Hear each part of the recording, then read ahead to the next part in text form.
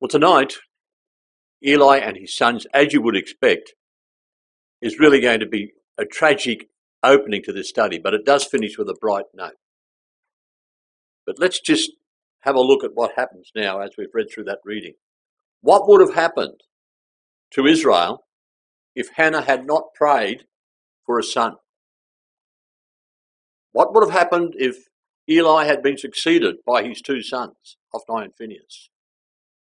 But Yahweh's divine intervention saved the nation from this rulership by two worthless sons. And Hophni and Phinehas were already anticipating their father's death, and they were ignoring all his remonstrations. They were doing exactly what they thought they could do in the ecclesial environment. Let's just set the scene a little bit and just have a look at how old Eli was so we can get a feel of what it was like for young Samuel. Now we're told in 1 Samuel chapter 4 and verse 15, if you just join with me there, please. In 1 Samuel chapter 4 and verse 15, that Eli was 98 years of age when the ark was taken. Verse 18. And it came to pass when he made mention of the ark of God that he fell back from off the seat backwards, that he fell from off the seat backward by the side of the gate, and his neck brake, and he died, and he was an old man. I've got the wrong verse, I want verse 15, but it says, Now Eli was ninety and eight years old, and his eyes were dim that he could not see. Eli was 98 years of age. Pretty old. You think of some of the oldest people we know in Maranatha that can hardly move themselves around. Here's Eli. He's still the priest and he's still the judge in Israel. Now, he was very old when Samuel came to him in chapter 2 and verse 22.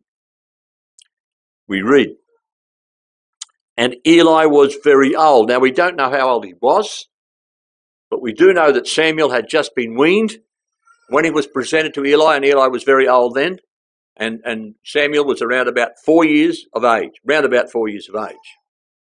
The battle when the ark was taken, we just read about in chapter 4, and God's judgments against Eli's house happened after God had revealed it to Samuel. In chapter 3, look at chapter 3 and verse 11 to 15.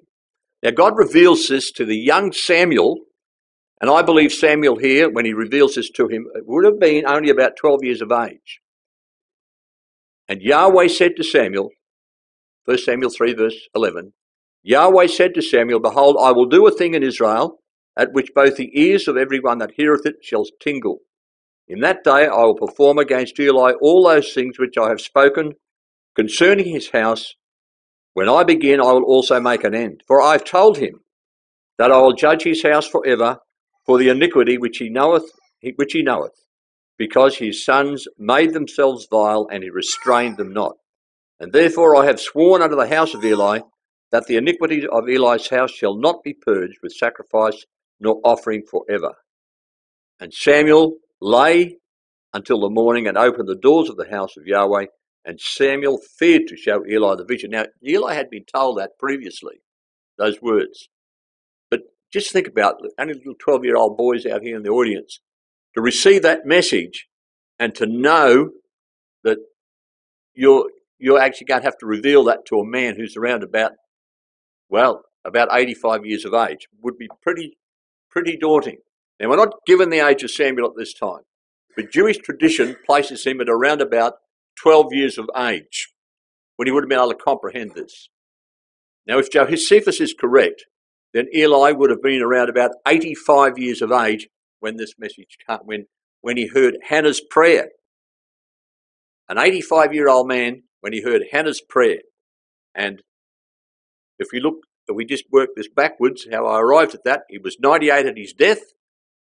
Samuel, around about 12 years of age, plus one year for his conception, takes us back to about 85 years of age when he received Samuel into the tabernacle. Now, I've just gone to that trouble just to explain to you so you get the feeling that here's an you're giving this little boy that you love to a man who's 85 years of age and he's got these two worthless sons. That's the environment that Samuel's placed into. So here he is. Now, why was Eli the judge and the priest in Israel? We're actually told that in that chapter 4 and verse 18 that he had judged Israel for 40 years. So that means that, that Eli had started as a judge and a priest at 58 years of age. Now, he enters the, the scriptural record with no real introduction. We're not told what happened. It's unusual for a man to become a priest at 58 years of age. In fact, the priests retired at 50 years of age. So the high priests in Israel were the descendants of Aaron's son Eleazar. But Eli was in the line of Eleazar's younger brother Ithamar. He wasn't even in the line of Eleazar or of Aaron, or of um, Eleazar. According to Josephus, he was a descendant by his, not of Eleazar, but by Eli was of the family of Ithamar. Now that's significant. I'll just put that on a chart so you can understand what that's all about. So if you just look at the priesthood here, Nadab and, and Abihu, we know, were, were destroyed because of offering a strange fire. Aaron was the appointed high priest, and his sons were to be the high priestly family. And the line followed Eleazar, Phinehas, Abishua, Bukki, and Uzziah. And then you can see Ithamar, the other son of Aaron, over to the side there. Now, for some reason, the priesthood transferred from Uzziah to Eli. Now, Eli was, don't forget, 58 years of age. The priesthood is transferred to him. Now, actually, I'll be bringing this chart up from time to time just to, it, it's got a lot to do with the prophecies concerning the priesthood. So we need to look at this chart, and this, this is the first time we'll see it, but we're going to see it from time to time. So the priesthood was transferred to the household of Ithamar, and it continued in the household of Ithamar.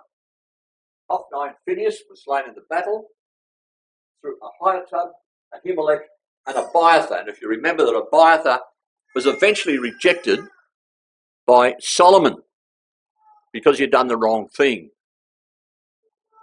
Now, and the priesthood then reverted back to Zadok.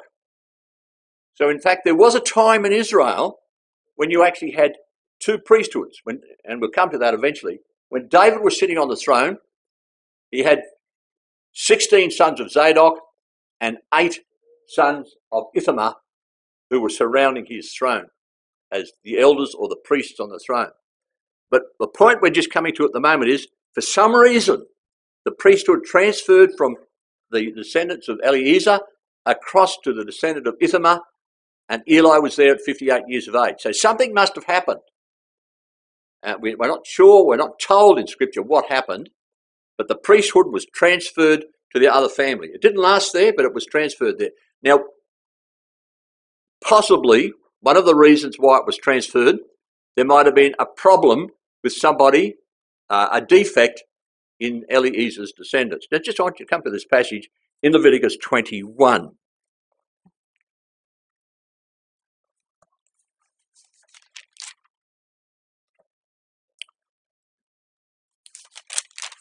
Leviticus 21, verse 17 Speak unto Aaron Leviticus 21 17.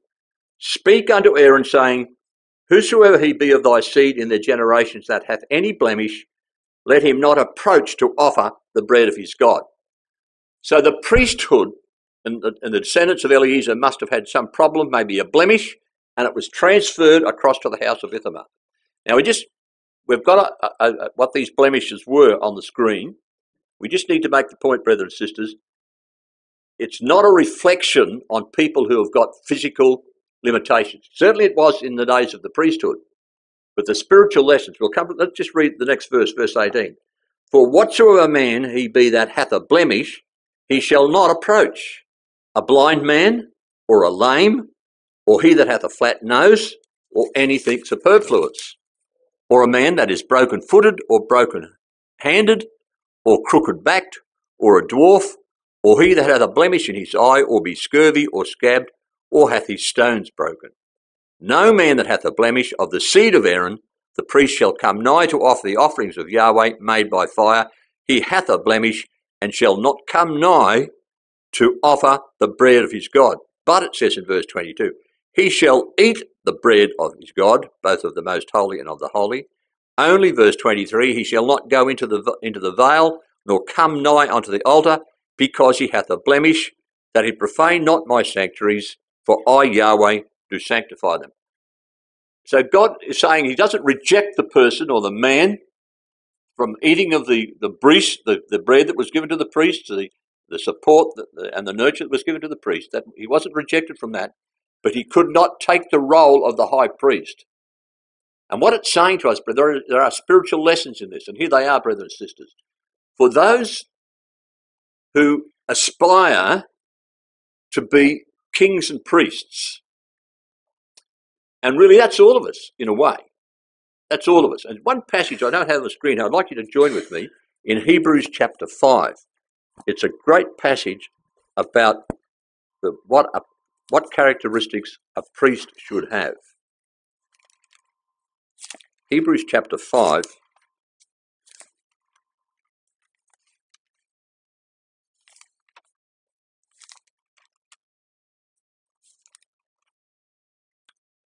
Verse 1 For every high priest taken from among men is ordained for men in things pertaining to God, that he may offer gifts and sacrifices for sins. And verse 2 Who can have compassion on the ignorant?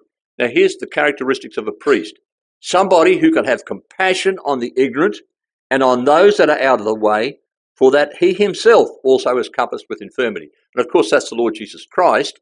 He was compassed with infirmity. He was the same nature as you and I. He was able, by the by the by that uh, what he was, his nature, he is able to extend compassion to us. He can sorrow with us, and he can support those that are out of the way. So the priest role was a role to support those that were in need. Now I just made that point. Let's come back to Leviticus 21. Because when we read this, it may seem a little bit lopsided, but God is saying He requires holiness in all those who aspire to be His priests. And we may not be able to manifest all of these characteristics, but this is the ideal. This is what God wants us to do. Back in Leviticus 21 and verse 17, it says, A person that is blind, and they're typical of moral failings. So a person who cannot see the way of the truth cannot administer for Yahweh as a priest. A person who is lame, that's a person who cannot walk in the way. A person who's got a flat nose, well, what does that really mean? It, it's supposed to mean an appearance of evil. Somebody's got a flat nose, and I hope nobody's got a flat nose. I've got a very pointed one, but uh, it doesn't, you know, it, it's supposed to and this is the idea that conveys the appearance of an evil face. Something that is superfluous, that means something which is stretched out. A person who takes the word of God and makes philosophies out of it, stretches it out and distorts the word of God. Or somebody that's broken footed or broken handed. Somebody that's, they can't be a priest if they can't stand and help in the day of trouble. Or if they're crooked backed one that is bent over and cannot illustrate in life the principles of righteousness. A person that is a dwarf, the word means small or wasted, and that's one that finds it difficult to be direct, and there is a need for, for leadership, for, for assertive leadership, Christ like leadership, but assertive leadership for those who aspire to be priests. One that's got a blemished eyes, that is somebody who cannot see the word of God clearly. Someone who's got scurvy, and that's a disease that starts in the head and then finds its way down through the body. It's, it's typical of sin, starts in our mind and then affects the way we live. So somebody who had scurvy could not act as a priest, or somebody who was scabbed, and that's the effects that come from this, these scurvy, sin, or broken stones, and that's somebody who cannot reproduce the word of God. Now, those people could not be priests, and may have, it may have been the reason why it passed from the, the line of Eliezer across to the descendants of Ithamar. We don't know. But that's the only reason that we're given that the priesthood could be changed or someone could be barred from being a priest. But he could still eat of the bread. He was still supported by Yahweh. Whatever the reason was, Eli would realize that God required sanctity.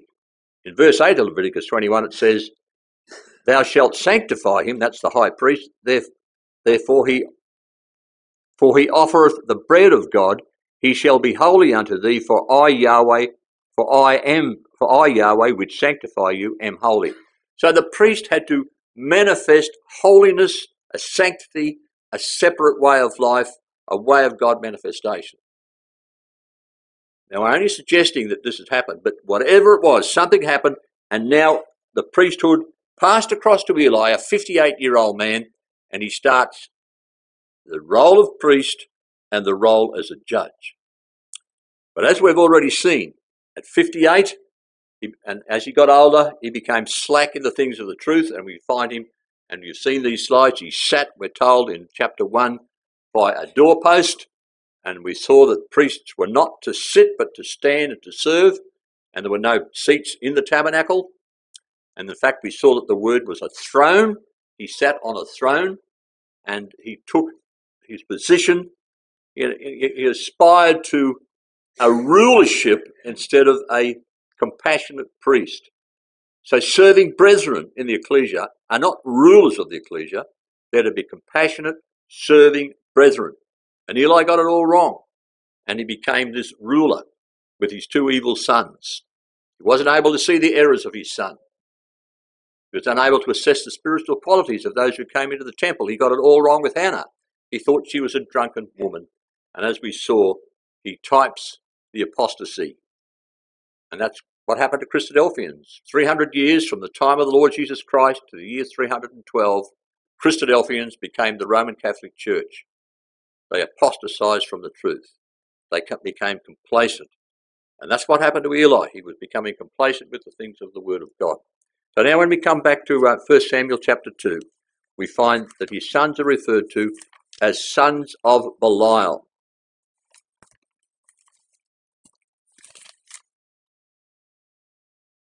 Verse 12 Now the sons of Eli were sons of Belial. They knew not Yahweh. The word Belial means worthless. They were, they were just worthless men. And we see people like that in the world, don't we? I mean, we, we see lots of people out there that are wicked and worthless people. But here were men who were priests of God. And they had no regard for Yahweh. And here's young Samuel. He's placed right in the middle of all that. A little boy of four years of age. And we can contrast those two characters. Eli's sons treated the priestly office with contempt. Samuel reveres it. Little boy, but he reveres the priestly office. Samuel's, Eli's sons disrespected him. Samuel respected Eli in spite of his faults. Eli did rebuke his boys, but Samuel was affirmed positively by Eli. Hophni and Phinehas ignored Yahweh. Samuel listened to Yahweh. There is a prophecy against Hophni and Phinehas, and God called Samuel a prophet. Hophni and Phinehas were defeated by the Philistines, and Samuel leads the defeat of the Philistines. Hophni and Phinehas die in battle, but Samuel judges Israel for well over 80 years, and he dies peacefully. So great contrast between those two boys and the young boy Samuel.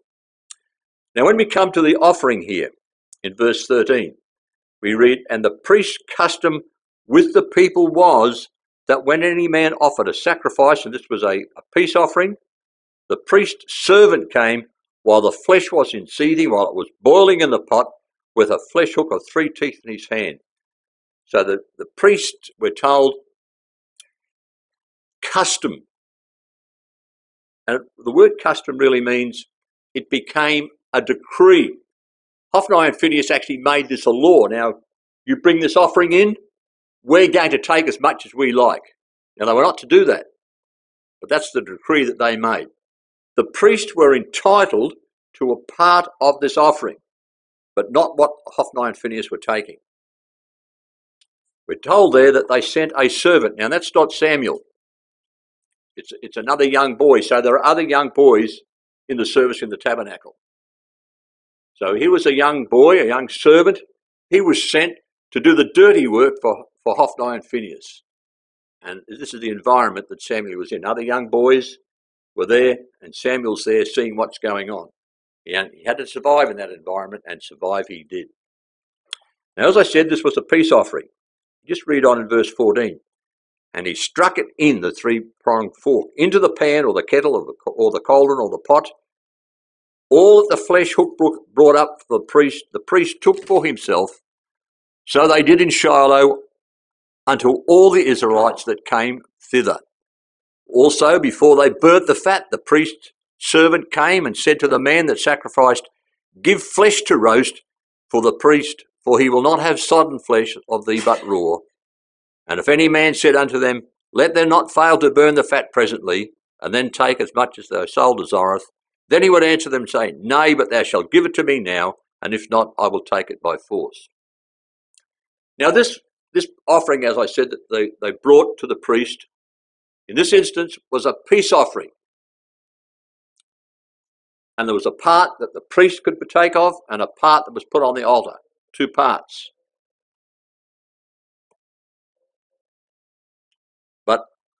The part, let's just go across to Leviticus chapter 7. We'll have a look at a closer look at this offering and see what was going on here.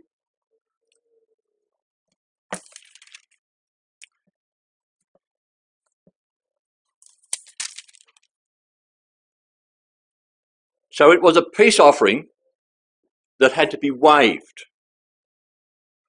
I'll explain what that means in a moment. But Eli's sons were un, they were not satisfied with the part that they were getting. But we just read in, in Leviticus chapter 7 and verse 28 And Yahweh spake unto Moses, saying, Speak unto the children of Israel, saying, He that offereth the sacrifice of his peace offerings unto Yahweh shall bring his oblation unto Yahweh of the sacrifice of his peace offerings. Now, verse 28, that word oblation is the word gift. So when someone brought an offering to Yahweh, it was a gift.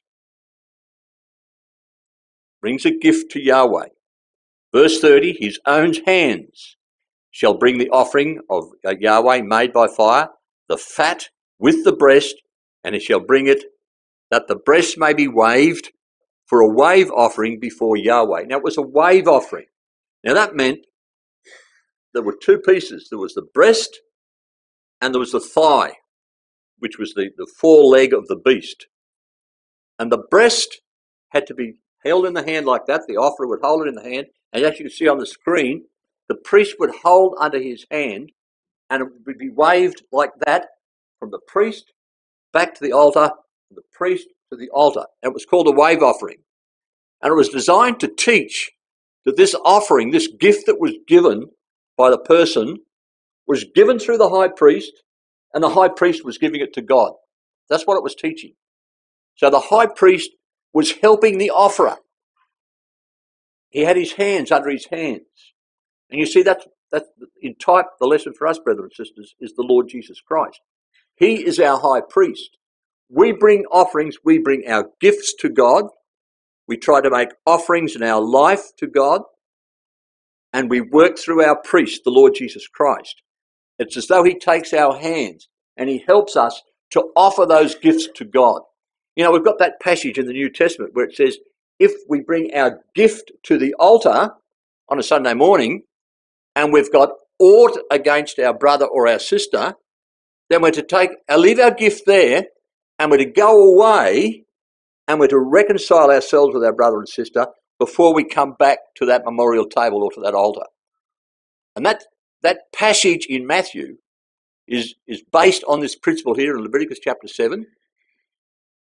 It's based on the principle that we are working, our high priest is helping us. Now, the breast spoke of the, the inner part of the, the heart of the person the person was giving their heart, their, their, their heart to God. and their, their right thigh, the right thigh of the beast, the strength. You, if you remove the right thigh of a beast, it will fall over. So it talks about activity and strength. We're to give our strength and activity to Yahweh in service. So we read on.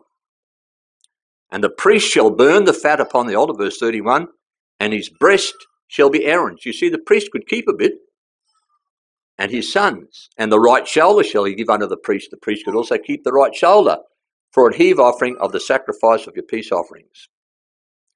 Just coming down to verse 34 For the wave breast and the heave shoulder have I taken of the children of Israel from off the sacrifices of their peace offerings, and have given them unto Aaron the priest and unto his sons.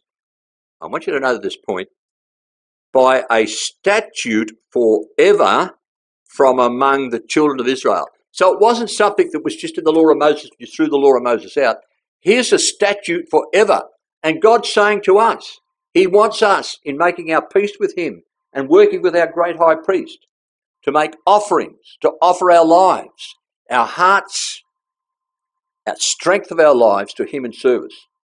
And it's a wave offering, and we are assisted by the priest as this offering is waved. So that's what the wave offering means. Now that's laid the background to what's actually going on here in 1 Samuel chapter 2. Because you see, And Phinehas were supposed to get the shoulder and the breast, but they wanted the whole lot. And maybe, maybe Eli was getting some of this too because were told that he was a big and he was a fat man, he was heavy. Maybe he was getting plenty of meat. And they were taking the fat also. You see, it was the principle. That's the way they treated their brethren. They were very, very coarse men. And we need to be careful we don't treat our brethren like that. And so they, we say Hophni and Phinehas committed the additional injustice of sending servants to take the, away these portions. They didn't even do it themselves. They got others to do the dirty work for them. And faithful Israelites were revolted at such an action. It really brought a bad name on the truth. It turned people away. You know, people would be saying, well, if that's how Christadelphians are, I don't want to have anything to do with them.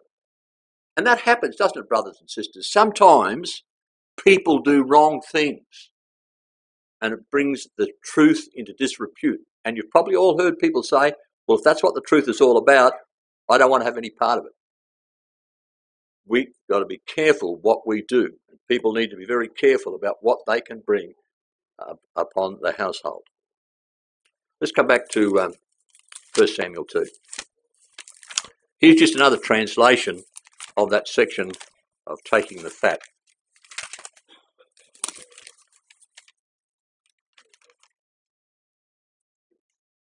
Verse 16. Here's another translation of verse 16. If any man said to him, First let the fat be burned, then take as much as you will, then the servant would say, No, you give it to me now, or I'll take it by force. And the people objected to that sort of action. You know, any action in ecclesial life that, that is forced upon people is wrong action. The, the, the wave offering was an offering of love, of giving oneself in dedication. But these men were besmirching that offering. They were besmirching the truth, bringing it into ill repute. So it says, Wherefore the sin of the young men was very great before Yahweh, for men abhorred the offering of Yahweh. It's like us saying today, men abhorred Christadelphians because of what they were doing. And so the truth can be brought into disrespect because of bad behavior. We've got these examples here. We know them. Simeon and Levi, what they did to the people of the land. And Jacob said, Look, you make my, my name to stink in the land. He, they, they got all the, the people to be, the, the Gentiles in that area to be circumcised, and then they went and killed them all. A very evil thing. And actually, Simeon and Levi are referred to as, in the promises in Genesis 49, as instruments of cruelty. And yet the priesthood came out of Levi. David and Bathsheba. Have a look at this one in 2 Samuel 12.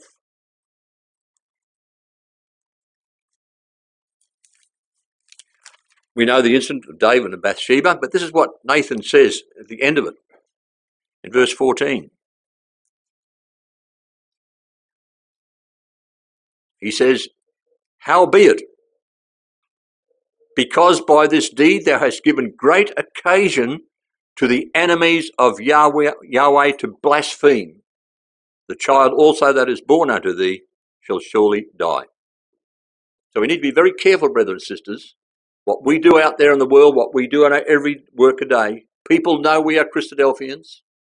People watch what we do. And we're not to bring the truth into disrepute. Cost David dearly, and it will cost us dearly. National Israel did the same, Israel rulers, the priesthood in Malachi's day, and Israel did the same to the nations. God said to the nation of Israel, You are my chosen people, you are my peculiar people. But they just besmirched God's name amongst the nations. So, as Christadelphians, brethren and sisters, we need to be very careful that we bear the name and we honour that name. And we don't besmirch the truth by our actions. So, when we come back to 2 Samuel and verse 2, it goes on to say in contrast, but Samuel ministered before Yahweh, being a child girded with a linen ephod. The sin of the young men was very great, but Samuel continued to minister in all of this. Now, you wouldn't put your family into that environment, but there he was, and he survived, and he grew. The impact of his mother and the mind of that young boy. We're told that he was girded with a linen ephod. Now, this linen ephod was a little coat that his mother made for him year by year. And as you can see on the screen there, it's, it's symbolical of, of the garments that we wear. The, we're clothed upon with the truth. We're to keep our garments. Samuel's mother made this little coat for him year by year, but it really was, the word actually means an upper garment. It was the upper garment that a priest wore. Now, Samuel was not a priest, but we're coming to see something about Samuel now that he was not, he was not a descendant of Aaron, and only the descendants of Aaron could be priests. But Samuel, really in his life, acted out, and you'll see more of this as we go through this, really acted out the role of a priest after the order of Melchizedek. He really was a priest of another order. And so he was, this little boy. He wore this robe, but it was a priestly robe. And she made it from year to year. So she was a wise mother that provided for the covering of her children, as all wise mothers do. But you know this coat, I want you to come to this passage in 1 Samuel 28 14. Samuel was recognized, he always wore this coat, not only as a little boy, but all his life, and even in his death, he was recognized as wearing this coat. 1 Samuel 28 and verse 14. Now, it's about the witch of Endor. I'm not going to uh, give an in depth explanation about the witch of Endor. There are a number, we, uh, obviously, there's no such thing as a witch that has got supernatural powers. We know that. Scriptural teaching quite clearly tells us that. But this woman did see Samuel. Now, she either saw a vision or God raised Samuel up. I choose to believe that God raised Samuel up in response to Saul's foolishness. Verse 14, and what and she she sees, she's surprised. This woman who was supposed to be hiding as a witch and, and Saul went to her, she calls out, we're told in verse 4, and he said unto her, What form is he of? This Saul says. And she said, an old man cometh up, and he is covered with a mantle. That word mantle is the same word for the little coat that Samuel wore, the high priest covering, the high priest coat. Even in this vision or in this resurrection, he comes up and he's covered with a mantle. And Saul perceived that it was Samuel, and he stooped with his face to the ground and bowed himself. So it's the same word as you can see on the screen there. The word meal is associated with the robe of righteousness. So he Wherever he went, his mother started to make them for him, but from there on, Samuel wore that little coat. And so I just say on the screen, well, what about the witch of Endor? Well, God raised up Samuel for the occasion in order to rebuke a fool, Saul, according to his folly. And this accounts for the precise prediction she made and her sudden cry when suddenly confronted with the unexpected. She, she wasn't expecting to see Samuel, and she did see him. We can talk about that later, but we know there's no such thing as a witch with supernatural powers. And so here she was. He was back in, in 1 Samuel chapter 2. We're told, verse 19, moreover, his mother made him a little coat and brought it up to him from year to year when she came up with her husband to offer the yearly sacrifice. So she planned, you know, she's she's back there for 12 months, and while she's away, she's planning for her family, planning for her son. And the lesson for us is that we need to plan for our families, plan our life in the ecclesia. Ecclesial life, and we all know it, requires organisation. You just don't sort of breeze along and go here and go there. We have to commit ourselves to personal Bible study. We have to commit ourselves to attending Bible classes and, and all of the meetings. We have to commit ourselves to supporting the brethren. It requires commitment and it requires organisation. And with little children, that starts with mothers who organise those children and they grow into adults and became responsible members of the ecclesia. Then we read verse 21 And Yahweh visited Hannah so that she conceived and bare three sons and two daughters, and the child Samuel grew before Yahweh. So she had three sons and two daughters, five, the number of grace. God was gracious to her. But including Samuel now, six children. And Samuel is one of six children, and we know that six in scriptures is the number of man, it's the symbol of, of common symbol for man. Man was made on the sixth day. And it, it speaks to us Christ bore the same nature as us, and Samuel was the sixth. He was a type of Christ. So here she was now. She was blessed with these children, and she could focus her love and attention onto them as well as on Samuel as she did year by year. And so we read, and Samuel grew before the Lord in the end of verse 21. But then we read in verse 22 Now Eli was very old and heard all that his sons did unto all Israel, and how they lay with the women that assembled at the door of the tabernacle of the congregation. So here's a great another contrast. Samuel grew before Yahweh.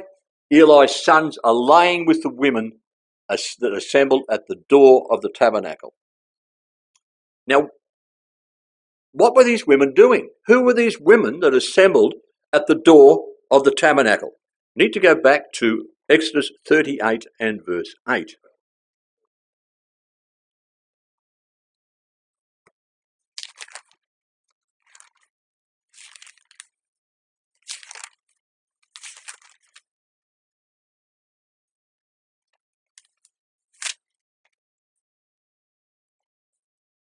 Here in Exodus 38 and verse 8, we read, and this is talking about Bezaleel, who made all the furniture for the tabernacle. And we're told that he made the laver here in verse 8. He made the laver of brass and the foot and the foot of it of brass of the looking glasses of the women assembling which assembled at the door of the tabernacle of the congregation. So here's the same phrase. Here's these women who assemble at the door of the tabernacle. Same phrases in, in uh, 2 Samuel. What were these women doing? Why were they assembling at the door of the tabernacle? Well, the word, when it says they assembled, means they served. So these women that were arranging themselves at the door of the tabernacle were doing some sort of service in Ezekiel, uh, in uh, Exodus 38, they were. Let's just come to Numbers chapter 4 and verse 24. What sort of service could women do? Numbers 4.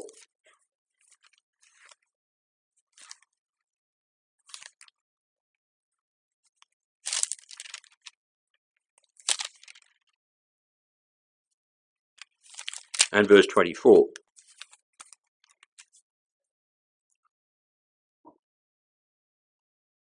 Verse 22 Take also the sum of the sons of Gershon throughout the houses of their fathers by their families, from thirty years old and upward until fifty years old shalt thou number them, all that enter in to perform the service and to do the work of the tabernacle of the congregation.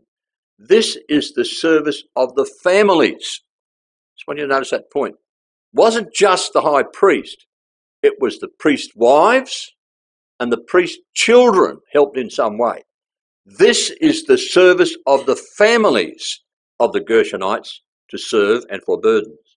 And they shall bear the curtains of the tabernacle and of the tabernacle of the congregation, his coverings, and the coverings of badger skins that is above and upon it, and the hangings for the door of the tabernacle of the congregation, and the hangings of the court, and the hangings for the door of the gate of the court, which is by the tabernacle and by the altar round about, and their cords, and all their instruments of their service, and all that is made for them, so shall they serve.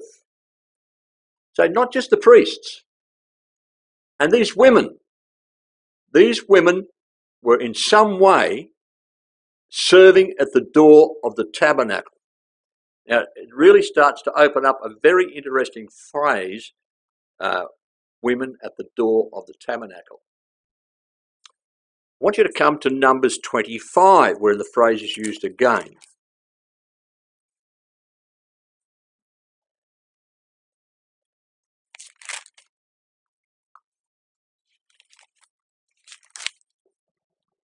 Now, Numbers 25, we have the terrible sin of the men of Israel being caught up with the Moabitish women at the instigation of Balaam. You know, Balaam had said, Well, look, uh, every time I've been called to, to curse Israel, I bless them. But he said to Balak, I know how to get them. You send your beautiful women in. And that's what this chapter is all about, chapter 25. These women came and took the men away. Verse 1, chapter 25. And Israel abode in Shittim, and the people began to commit whoredom with the daughters of Moab at the instigation of Balaam. And they called the people unto the sacrifices of their gods, and the people did eat and bowed down to their gods. And Israel joined himself unto Baal Peor, and the anger of Yahweh was kindled against Israel. And Yahweh said unto Moses, Take all the heads of the people and hang them up before Yahweh against the sun, that the fierce anger of Yahweh may be turned away from Israel. Now, there were a thousand men that were actually hung up. There, and it doesn't say a thousand here.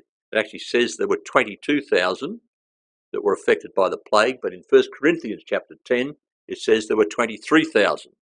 Take 22 from 23 and you have a thousand men. A thousand men were hung up and they were leaders and they had been involved in whoredom with the daughters of Moab. We haven't finished. Verse 5. And Moses said unto the judges of Israel, Slay ye every one of the men that were joined unto Baal Peor. And behold, one of the children of Israel came and brought unto his brethren a Midianitish woman in the sight of Moses and in the sight of the congregation. Now, that word congregation is a feminine word, it's a feminine noun, it's a female congregation. In the sight of all the female congregation of the children of Israel, who, and where were they? Who were weeping before the door of the tabernacle of the congregation. Got these women again. The women at the door of the tabernacle of the congregation, but now they're weeping.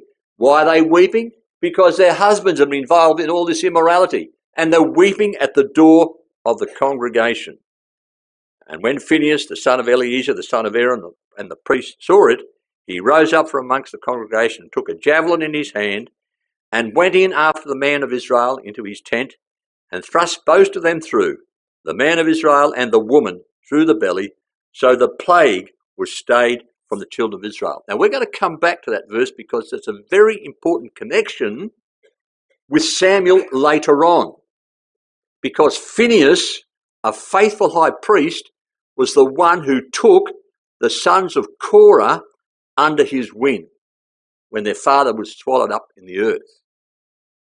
And Phinehas trained the sons of Korah to be doorkeepers, to be gatekeepers, But here were the women. It's all happening. It's all happening, brothers and sisters, at the door of the tabernacle of the congregation.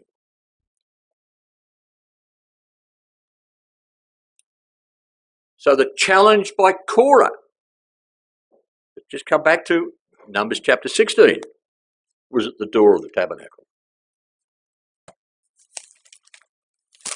Now, Samuel was a descendant of Korah. Numbers chapter 16. And I'll, I'll open this up in more detail in a future study, but we're just opening the door a little bit at the moment. Verse 17. There was Dathan and Abiram, and then there was Korah. They all challenged Moses' leadership.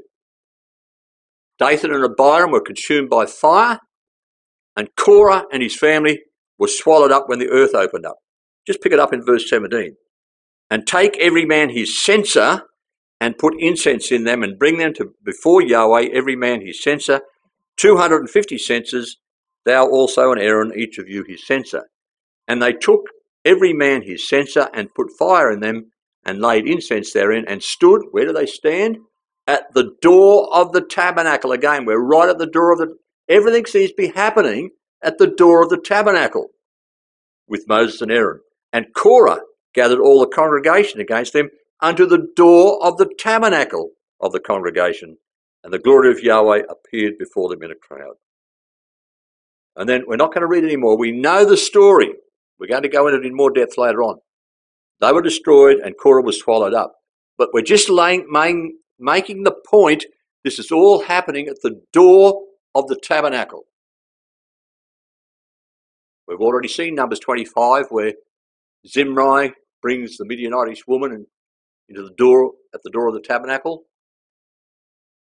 And it's the door of the tabernacle is where the challenge, brothers and sisters, the ecclesia begins. Now, it does mean that door there. It does mean what comes into this ecclesia, and it's always a challenge. But you see, before it becomes the door, it's actually the door of our minds, what we allow into our brains. We are bodies. We are tabernacles for God to dwell in. We're to be God manifestation as much as possible. What we allow into our minds then can corrupt and destroy. What we allow into the ecclesia can corrupt and destroy. So the challenge to the ecclesia always begins at the door of the tabernacle, the door of our minds. That's what this is all about. So, what were these women doing? Back here in 1 Samuel chapter 2. Look, in 1 Samuel chapter 2, it was a it was a permanent building. They didn't have to fold up the curtains and pack everything up and move on. Maybe there was some service, or was it just a tradition? Now, I don't know. You know, sometimes in the ecclesial world, we can just do things based on tradition because it's always been done in the past. But here they were. These women were standing here at the door of the tabernacle. And it was these women that were now being caught up with Hophni and Phinehas.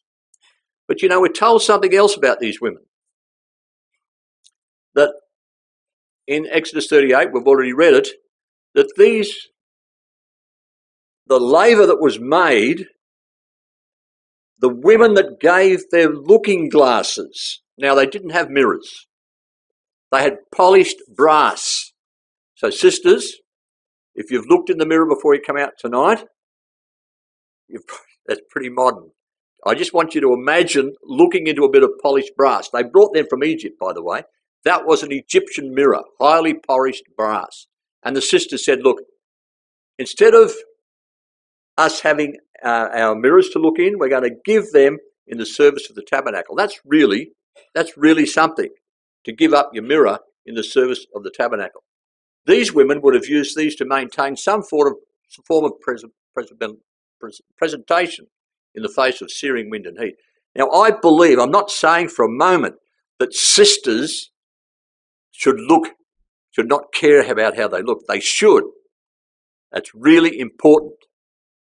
And we say that to young couples. We say when young couples get married, uh, the young woman and the young man, they make themselves presentable to each other, then they get married. And if they tend to let themselves go, that's bad for the relationship. And so, sisters, you know, we've got the other extreme where it says in in uh, in Peter that the women are the costly adorning of their hair and the putting on of apparel. But there is a balance, brethren and sisters. One can be overly dowdy or overly overdone. But these women took that which was for their presentation and they gave that in the service of the truth. It was a denial of fleshly lusts. The laver was used for the washing of the priests. That's that big bowl there. They would get blood on their arms and on their legs. They would wash their feet and their, their hands wash as they performed their offerings and the sacrifices. And the laver was used for the washing of the priests. And the women gave that which was for their beauty. They subjected themselves and gave that in the service of the truth. Now, Hophni and Phinehas were defiling those women, these women who originally had submitted themselves for the service of truth. Now these women were being defiled by Hophni and Phinehas.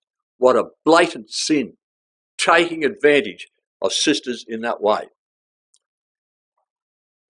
The parts that were washed were told the uh, they had to wash, as already mentioned, their hands and their feet, and that was made possible by the self denial of faithful women in Israel.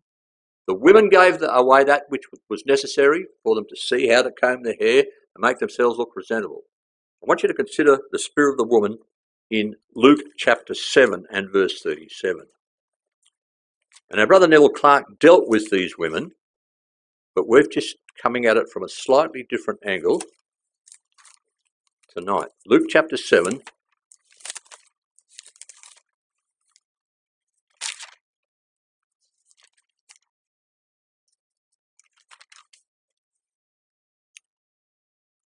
Verse 37 And behold, a woman in the city which was a sinner, when she knew that Jesus sat at meat in the Pharisee's house, brought an alabaster box of ointment, and stood at his feet behind him, weeping, and began to wash his feet with tears, and did wipe them with the hairs of her head, and kissed his feet, and anointed them with ointment. Now, not only just read that, I want you to think about that. Sisters, how would you feel about washing somebody's feet who hasn't even washed them beforehand with tears and then with your hair drying those feet. That really is an act of submission. It's an amazing thing. Here's a woman, he, she's submitting herself to the Lord Jesus Christ. Verse 39 Now, when the Pharisees, which had bidden him, saw it, they spake within themselves, This man, if he had, were a prophet, would have known who and what manner of a woman this is that toucheth him, for she is a sinner. And of course, Jesus says in verse 44, Look, you haven't done anything for me. She, she's washed my feet with her tears and wiped my feet with her hair. She's really subjected herself in humility. Then there's a woman in John chapter 12. Have a look at the woman in John chapter 12.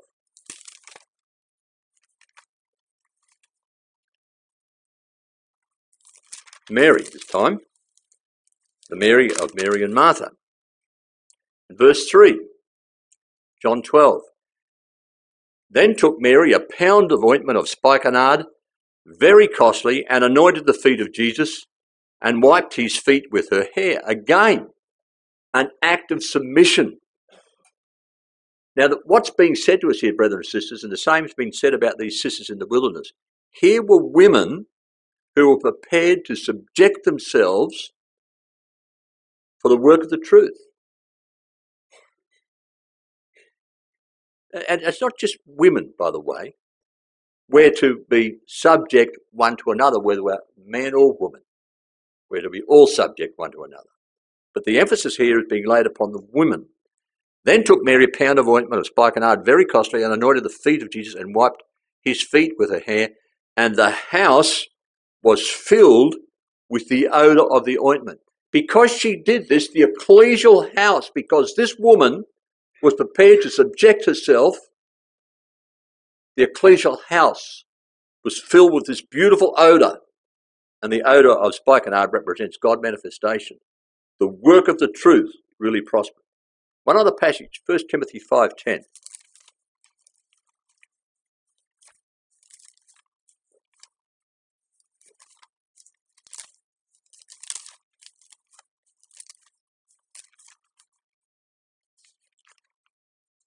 First Timothy 5,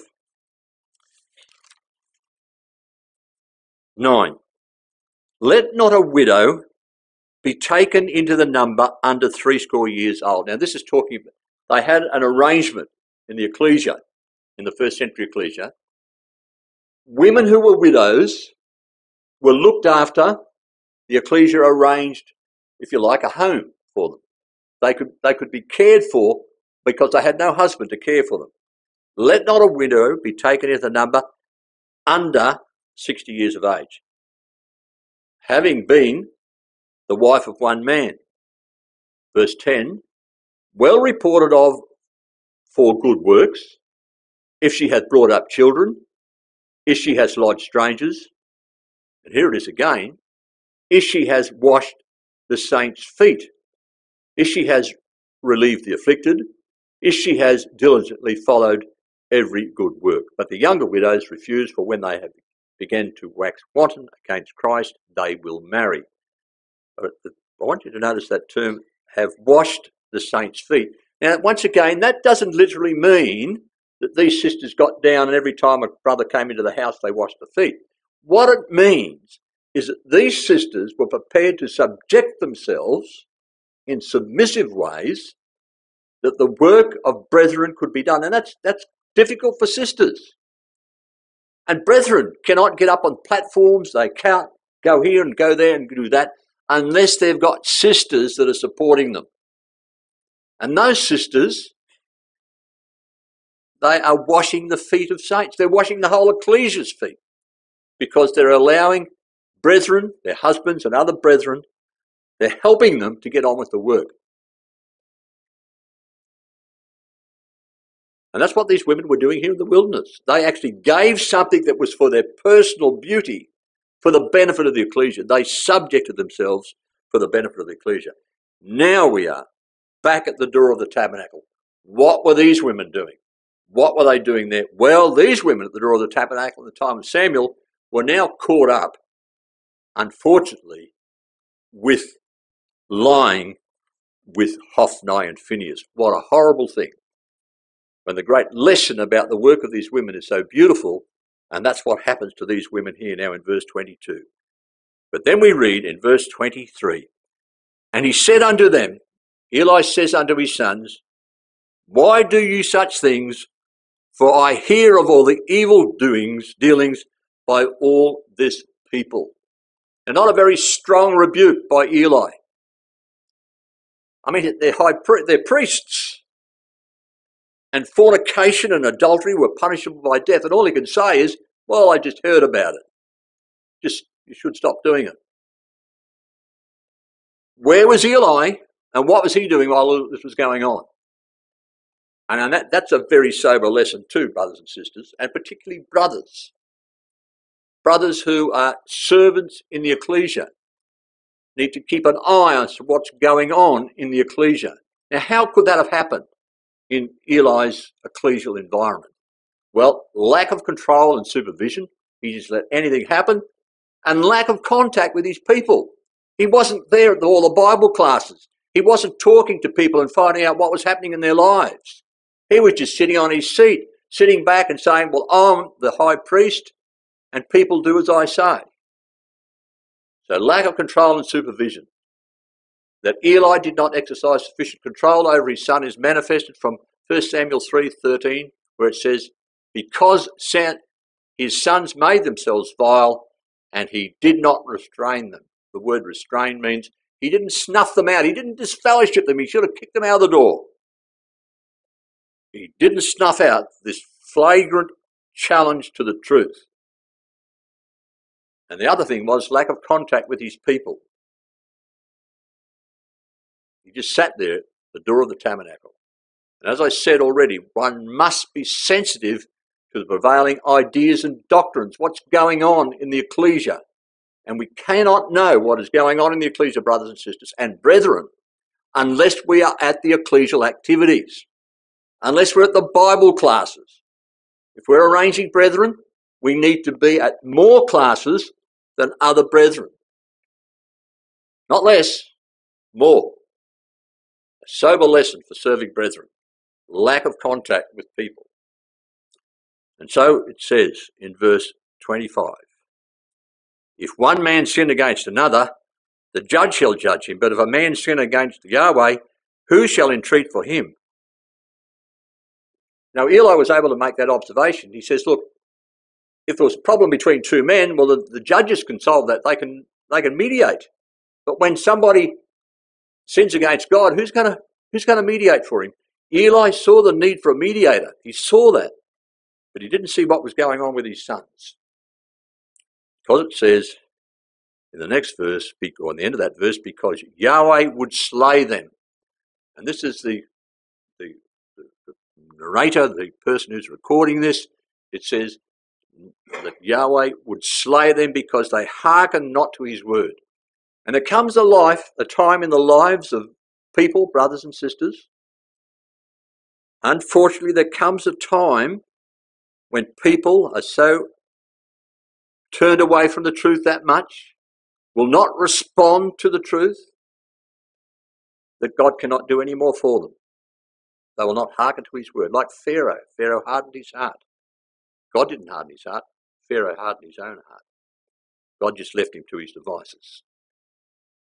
God withdraws his hand from their lives, and God was withdrawing from the lives of these men and leaving them to their own devices. He would slay, they would die. But then we read a very wonderful and a positive note in the light of all that negativity. And the child Samuel grew on and was in favour both with Yahweh and also with man. And we're going to leave it there, brothers and sisters. But those things we discussed about the door of the tabernacle, we will come back to those when we took, look at the, the household of Korah. But we now understand what it means when it says the door of the tabernacle. We've got a responsibility to maintain the things of the truth and to know what's going on in the ecclesia. Might it be, brothers and sisters, that we might, like Samuel, grow in favour with God and with man.